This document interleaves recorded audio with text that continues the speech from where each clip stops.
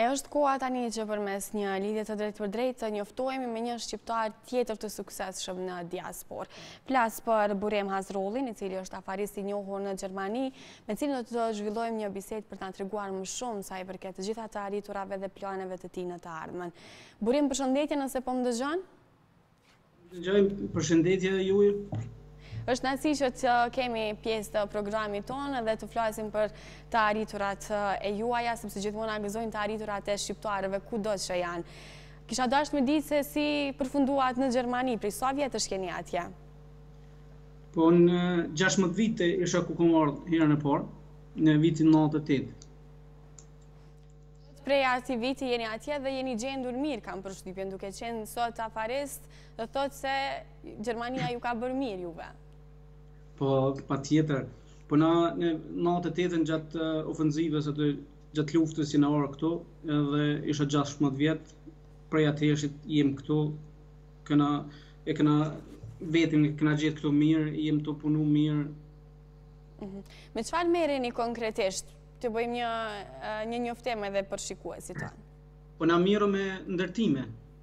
Na mirrem me ndërtime, krejt ndërtime çka përbahet me të gjitha mirrem me çelësa n'dorë marojmë objekte ose shpi ose ndërtesa i kemë dikun 4 firma me një i blim tokat edhe e bojmë planin i ndërtojmë i shesim me një vetëm ndërtojmë Me tjetrën shesim materiale ndërtimore, kemë edhe ku shesim materiale ndërtimore, edhe me një prej betona shpojmë. Mhm. Dhe kam përshtypjen se duke qenë me firma atje, ju keni pasur mundësi që të kontribuoni edhe në punësimin e njerëzve. Dhe ka shqiptarë që punojnë për ju, jeni fanatik që të keni punëtorët shqiptarë duke ju siguruar edhe atyre një punë të qëndrueshme? Jo, unë mundohem gjithmonë uh, së pari shqiptarët me punësu, se e, e di çka do të thotë me ardhë prej një vendit te një vend i huj, me mujtë me gjetë vendin këtu, janë punësun dikun përmi 40 40-50 shqiptarë janë këtu, tjerët janë nacionet tjera, edhe me punë kryerës më shumë me firma tjera shqiptare çka punojnë për neve. Edhe ato gjithë i punësojmë të parët janë shqiptarët ku mundohem i punësojmë. Sa është e vështirë të gjendesh në një shtet të madh, në një shtet të huaj siç ishte Gjermania? Si ia keni dalë ju të keni sukses? Po vështirë është me orë prej një shtetit edhe si i huj, është vështirë po me, me punë e arrin çdo sen, me punë e arrin edhe besimin edhe punën, kualitetin çdo sen e arrin edhe në shtetin e huj.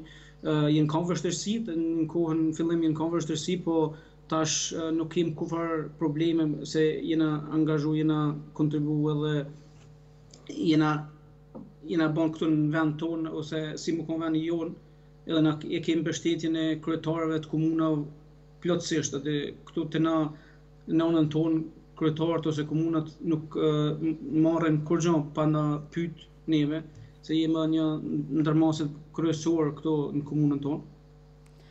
Do të thotë do të thotë keni përkrahje të mirë edhe institucionale në ato raste kur e keni të nevojshme ose edhe ata thjesht konsultohen me ju për gjithçka.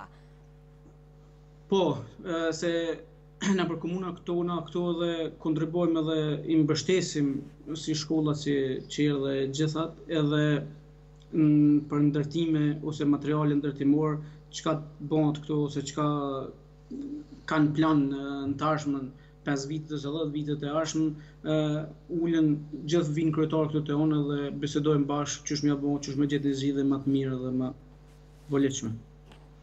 A keni menduar të uh, investoni edhe në Kosovë? Po, po, uh, mendimet janë kanë gjithë se unë Unë mendoj gjithë për Kosovë dhe kontriboj për Kosovë, kam qejf atje me, me investu. Për, për momentin tash i kem planet e ardhme për 5 vitet e ardhshme çka i kem që do të investojmë atje.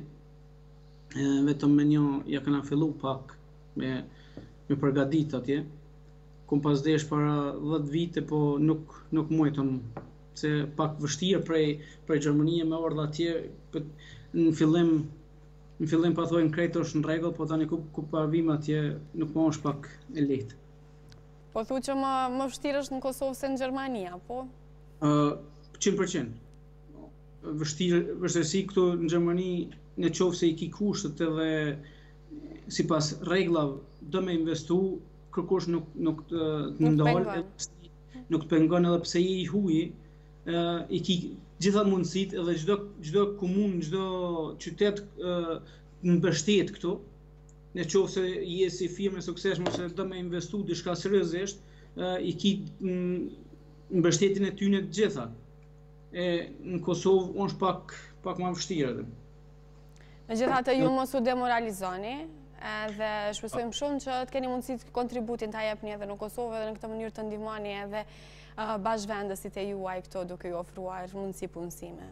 Po, unë e kam një plan në të ardhmen 5 vite ose 10 vitet e ardhshme si në Kosovë do të kontribuoj, do të investoj bukur mirë, ku edhe moto me tregu se nuk është vetëm në Gjermani ose në Evropë me me punu, po mund edhe në Kosovë me punu, edhe me fitu pare edhe me një jetë të mirë edhe ekonomi të mirë.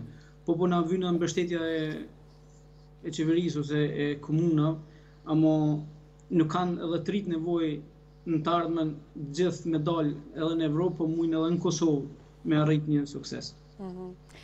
Ne mbesim me shpresë, sepse dihet që në Kosovë kemi shumë shpresa dhe shumë ndihmë nga diaspora në përgjithësi edhe gjithashtu gëzohemi shumë kur një bashkëvendës i yni ka një sukses, sepse ajo rezulton gjithashtu edhe në ekonominë familjare të secilit person.